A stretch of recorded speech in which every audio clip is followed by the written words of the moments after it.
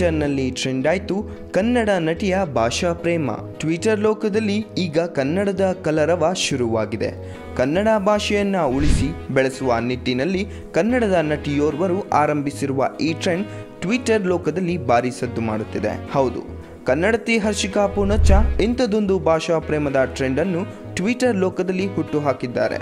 ಟ್ವಿಟರ್ನಲ್ಲಿ ಸಾಮಾನ್ಯವಾಗಿ ಎಲ್ಲರೂ ಇಂಗ್ಲಿಷ್ ಭಾಷೆಯನ್ನು ಬಳಸುತ್ತಾರೆ. ಆದರೆ ನಾವು ನಮ್ಮ ಭಾಷೆಯನ್ನು ಬಳಸುವ ಮೂಲಕ ಅದನ್ನು ಉಳಿಸಿ ಬೆಳೆಸಬಹುದು ಎಂಬ ಆಲೋಚನೆಯ ಮೇಲೆ ಹರ್ಷಿಕಾ ತಮ್ಮ ಟ್ವಿಟರ್ ಖಾತೆಯಲ್ಲಿ ಅಭಿಮಾನಿಗಳು ಕನ್ನಡದಲ್ಲಿ ಪ್ರಶ್ನೆ ಕೇಳಿದರೆ ಅದಕ್ಕೆ ಹರ್ಷಿಕಾ ಕನ್ನಡದಲ್ಲಿಯೇ ಉತ್ತರಿಸುತ್ತಿದ್ದಾರೆ. ಹೀಗಾಗಿ ಕನ್ನಡ ನಟಿಯ ಈ ಭಾಷಾ ಪ್ರೇಮ ಟ್ವಿಟರ್ ಲೋಕದಲ್ಲಿ ಎಲ್ಲರ ಮೆಚ್ಚುಗೆಗೂ ಪಾತ್ರವಾಗಿ ಇತರರಿಗೂ ಮಾದರಿಯಾಗಿದೆ.